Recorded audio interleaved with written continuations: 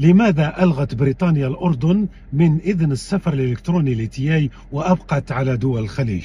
بهذا القرار عاد المواطن الأردني إلى دوامة الانتظار الطويل في طوابير طلب الفيزا البريطانية. 144 ألف حامل لجواز السفر الأردني استفاد من إذن السفر الإلكتروني اي تي اي لكن بريطانيا ألغت هذا القرار. لماذا؟ لأن الكثيرين طلبوا اللجوء في أيرلندا. ونسقت بريطانيا مع إيرلندا لوقف هذه الميزة.